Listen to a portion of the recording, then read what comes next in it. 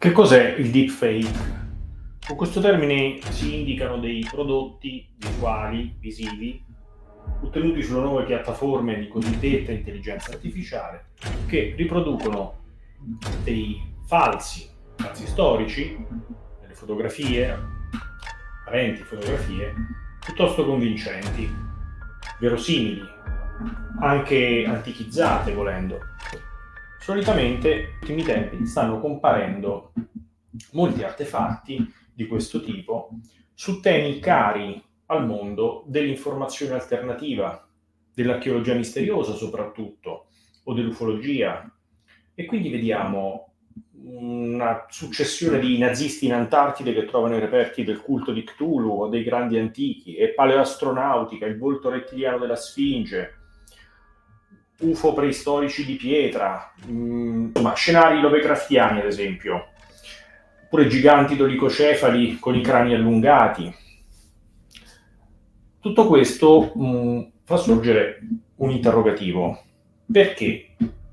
Perché tutto questo? Siamo di fronte a semplici uh, produzioni artistiche che sfruttano um, scenari uh, di un immaginario collettivo um, ormai avvezzo a questi, a questi temi suggestivi, oppure c'è qualcosa di altro.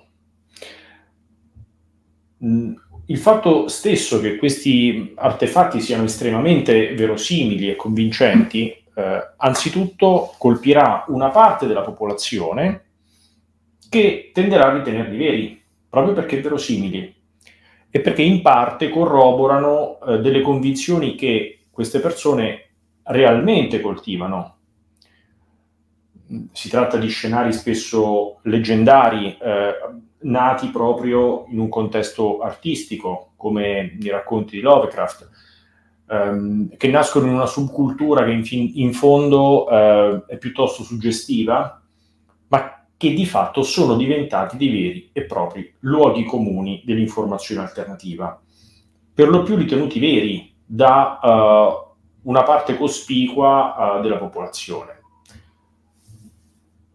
Quindi abbiamo sicuramente un dato di fatto, una parte, mh, un, un settore del pubblico di riferimento, del pubblico target, può effettivamente ritenerli veri Dall'altra parte abbiamo una interessante eh, possibile operazione culturale o psicologica, e qui rientriamo nel campo proprio della PsyOp, in cui troviamo dei contenuti mh, fattualmente falsi o comunque non, non dimostrati, quindi non entrati a far parte della conoscenza storica, mh, che però vediamo rappresentati con dei falsi, ma con dei falsi verosimili.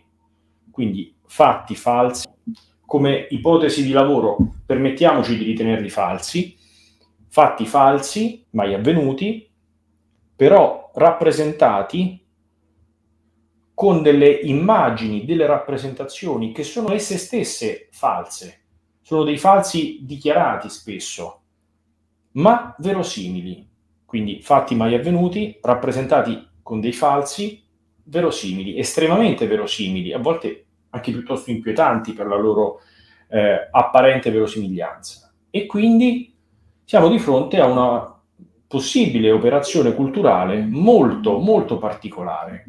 Cioè siamo di fronte a un'operazione che avvicina sempre di più alla post-verità. Il confine fra vero e reale, ciò che non lo è, è sempre più labile.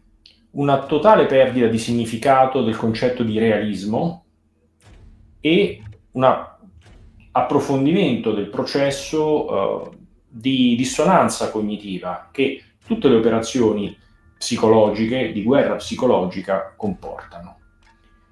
Quindi dietro questi fenomeni si può celare una operazione subliminale di manipolazione di massa.